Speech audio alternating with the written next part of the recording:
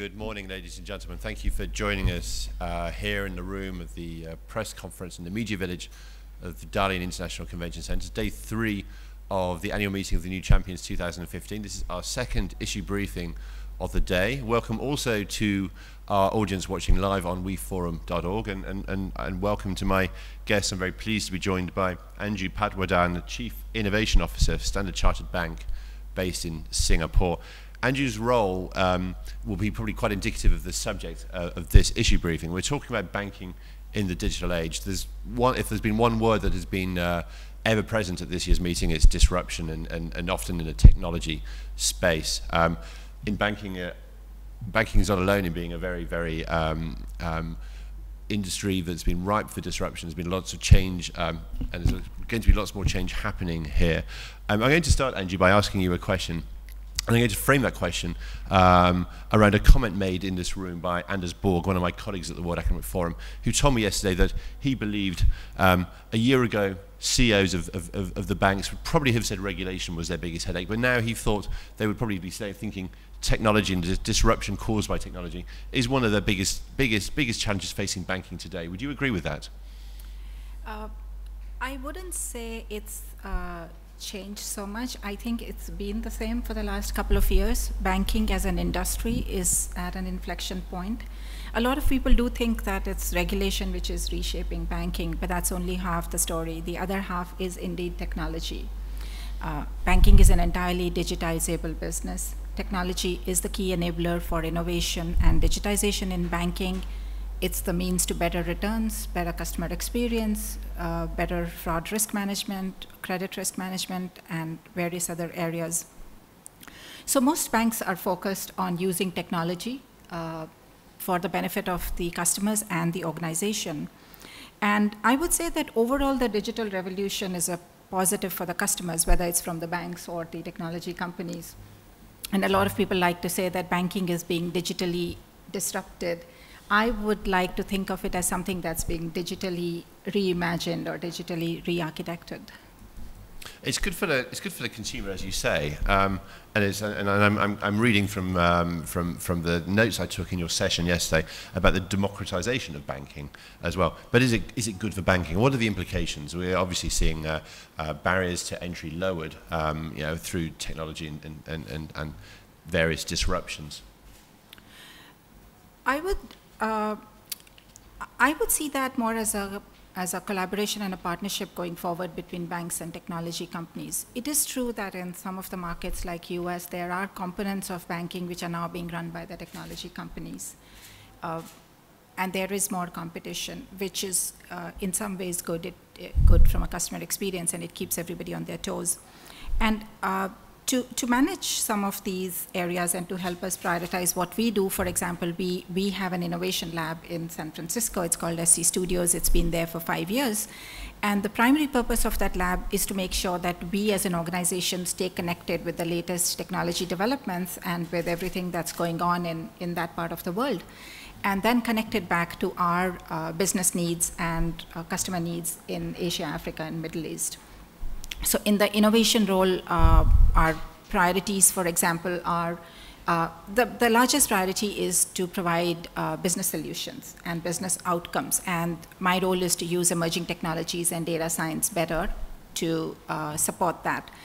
Uh, we are also building up an innovation lab in Singapore to complement our lab in Singapore. The Singapore lab will be closer to our business heads and our customers, and it will work very closely with the team in the US.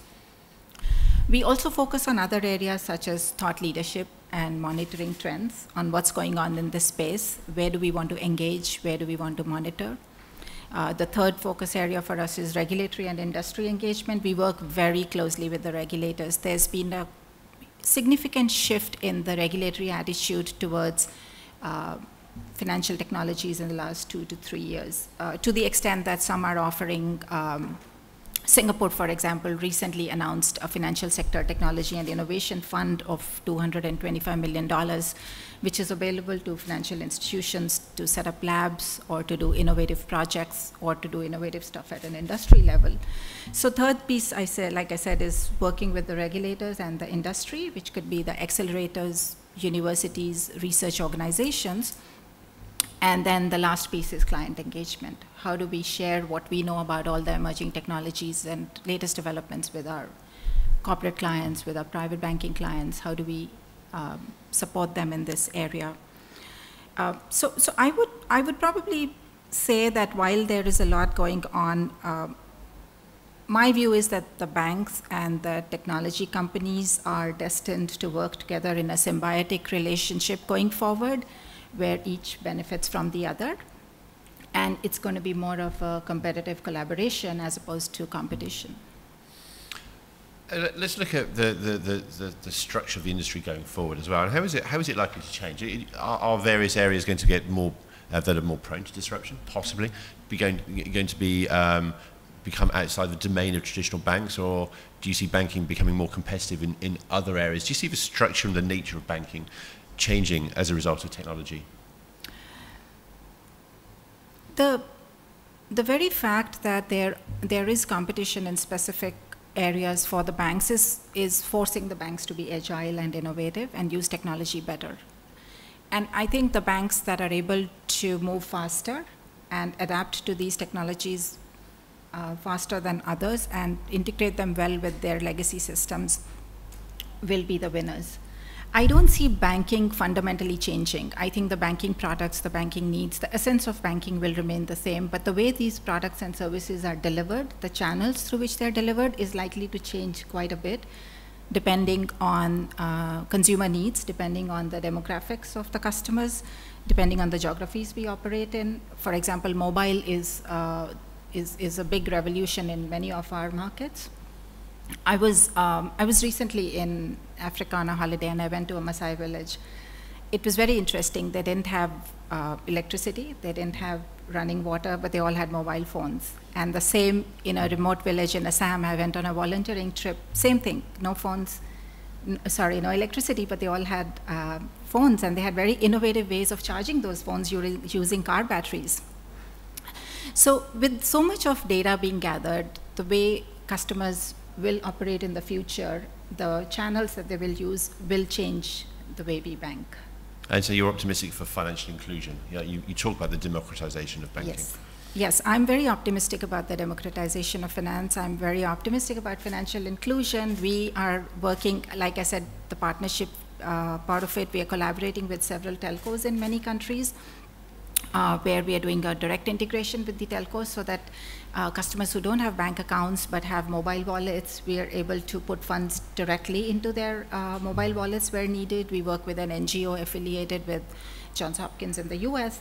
And when they need to pay their partners in Africa, earlier it used to take two or three days to send the money. Now with the direct integration with the telcos, the money can be sent in almost real-time basis to those customers. So, so many people, even though they don't have bank accounts, are now able to take the advantage of um, uh, the fundamental banking clearing networks and the banking rails. That's brilliant. Anju, you, you were mm, uh, given the role of Chief Innovation Officer eight months ago, I believe, or, or maybe maybe even Two less. Two and a half. Two and a half months ago, so possibly a little bit early to ask, you, right. ask your experiences. But bearing in mind, you, you've set up your first lab five years ago, and you've been in the job as Chief Innovation Officer, a brand new role, I understand, at the bank. What, what is your experience about the, uh, yeah, the, the culture of change within banking, or within your, you know, the, the bank with which, where you work?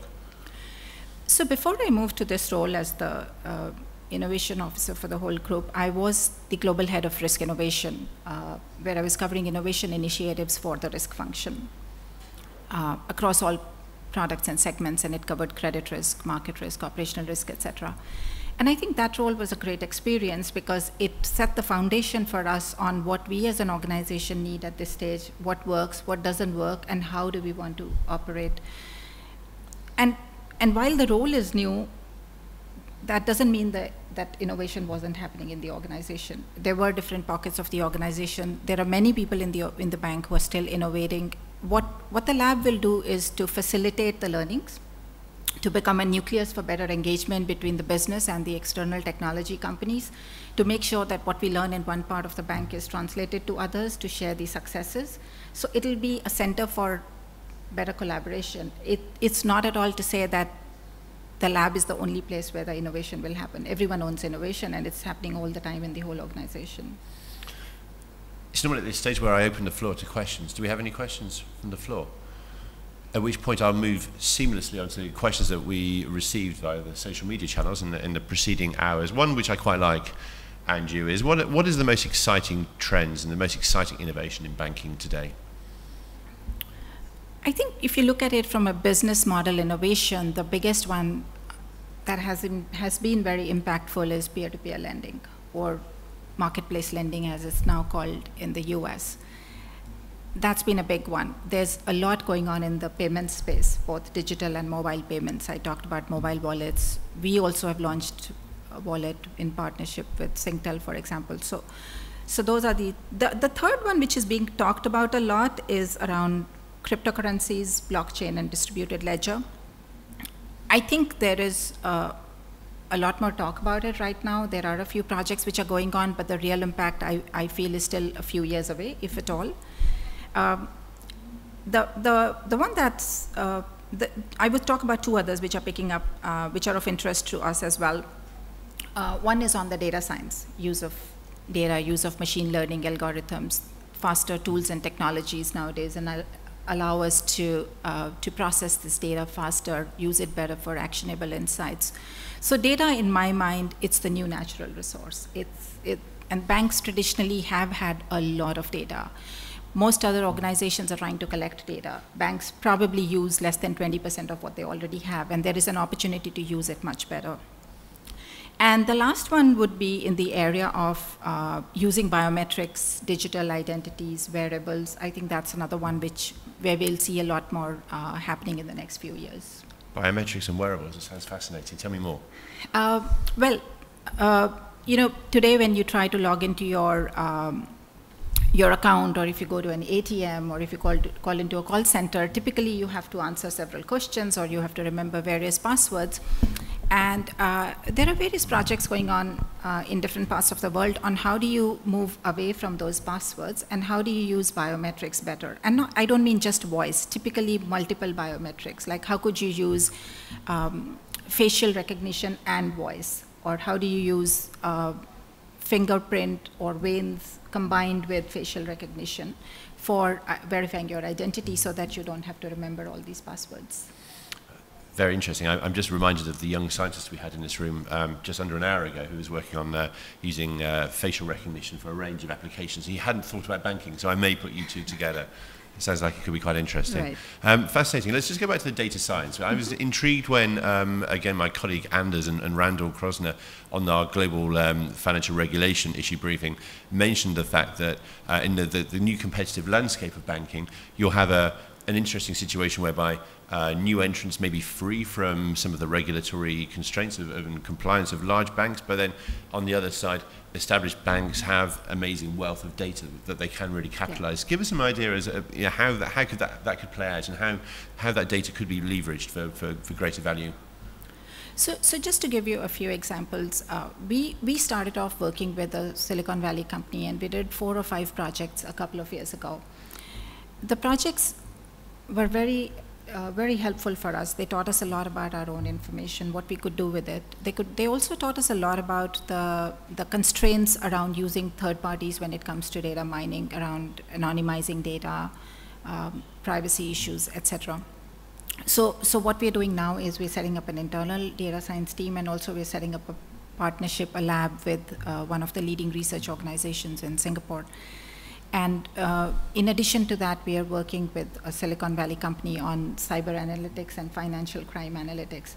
And these are really advanced analytics. This is like using structured and unstructured data, using internal and external data uh, to do analytics and to generate alerts, which the analysts can then work on and, uh, and do things much faster. Just as an example, most banks today uh, on the retail banking side, they probably have an aggregated view of a customer's mortgage data, CASA accounts, credit cards information, and perhaps they use it together for analytics. But I don't think, I don't think most of the organizations combine the data across their retail clients, corporate clients, private banking and SME clients. And then on top of that, if you overlay the bureau data, bureau data the data from the external organizations that we subscribe to, the combination can be very powerful.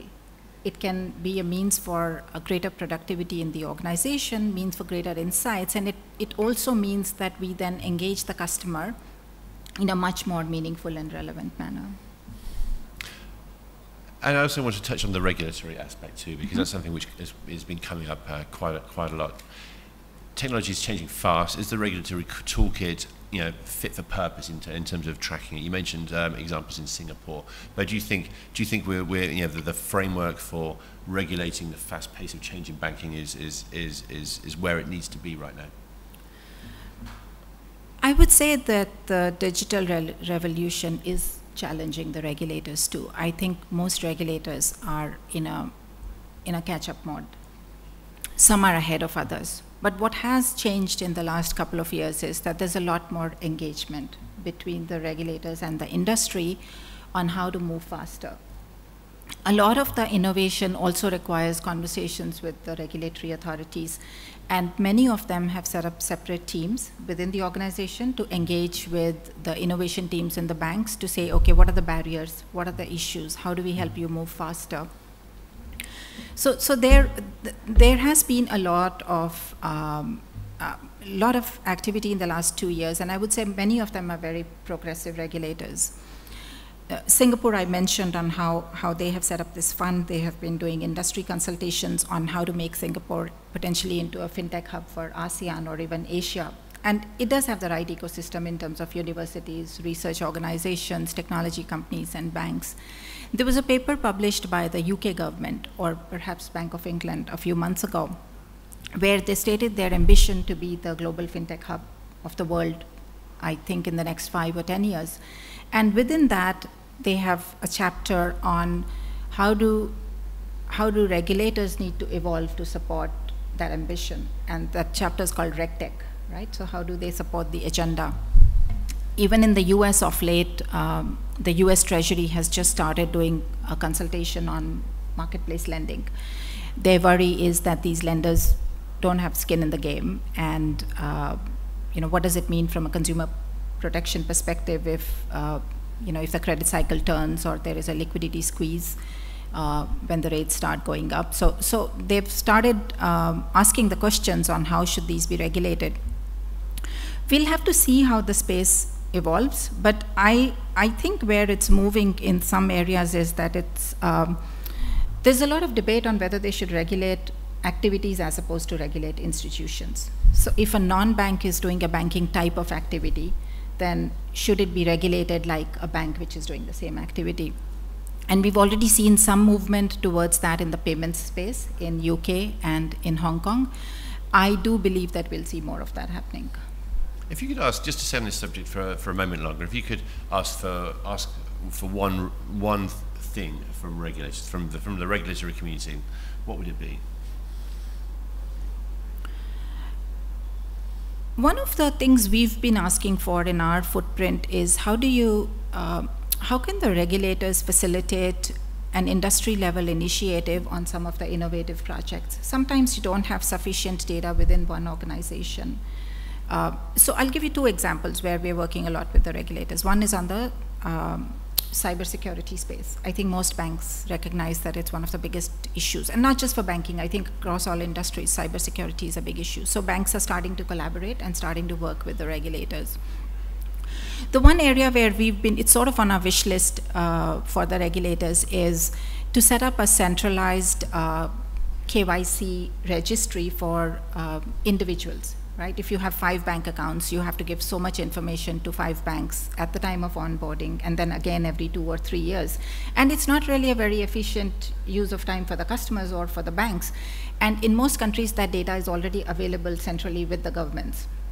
So we've been saying that is it possible to set up the equivalent of a credit bureau, but more for the data that's needed for client due diligence. And I think if, if we could do that in, in our footprint countries, that would be a huge win. That would probably be number one on my list, a KYC registry for retail clients. Fantastic. And, and, last question, this is a meeting which we pride ourselves in bringing together people from science and technology and, and, and policy and, and, and, and business and, and small businesses. Have there, has there been any, any one um, experience at this meeting this week, or a session you've been in, or a person you've met which has been particularly outstanding, or you'll take away and, and may change the way you, you think about a, a particular subject? There were quite a few uh, interesting sessions. And even before I came to the meeting, I read the report that was issued by World Economic Forum back in June called "The Future of Financial Services," and that was that was really interesting and useful report. Uh, taking on from there, uh, you know, during during the meetings here, I would say one one very uh, meaningful takeaway for me has been uh, getting to know more about China. There were several sessions on China, and uh, and that was something that I, I um, learned a lot about. It was useful. It was also uh, helpful to meet people from a lot of different industries, not just fintech. And one of the things I'm finding is that as I meet a lot of companies in Silicon Valley, we meet a lot of companies through the VC firms and PE firms, and I'm, I'm discovering that a lot of interesting solutions for banking are actually coming from the non-banking industries. They have some solution and they haven't thought of using it for banking, and then when we have a conversation and we say, oh, it could solve this problem. So, so I've had a few of those conversations, bilateral meetings in the last two days, which have been useful, and I'm going to take some of those forward. With, without giving too much away, of course, but any any industries in particular that where the, the and again, this is something where you know we, we, we, we like to see the industries that don't often talk to each other on a regular basis coming coming together. Any areas for collaboration that you can share with us? We've started working a lot with the telcos. Mm-hmm. Uh, in many of our markets, so that's uh, definitely one area where we are collaborating in many different areas. Uh, we're starting to look at some of the advances in the healthcare industry. Uh, in many countries, there's a lot of focus on how to do healthcare and provide health services on a remote basis without having to bring them into the medical facilities. So they're looking at the use of sensors, use of video facilities, um, use of biometrics, and we're trying to see if we could do this, some of the same in many of our markets and have a virtual banking experience for our clients uh, so that they don't have to come into the branch. Uh, so that's an area for healthcare. We're looking at Internet of Things to see how we do collateral monitoring um, for our commodities business. So it's a whole different range. A whole, a whole range, lots, yes, of, lots of industries yes, out there. Lots of industries. Anju, it's been fascinating. Thank you so much. I know you have a very busy schedule, so um, we're very glad to have you down here in the media village of the, uh, the DICC. Thanks very much again. I'm wishing you a very Thank successful you. end to the, to the meeting. Thank you to our audience watching us here and in online on weforum.org. This session is now closed. Thank you.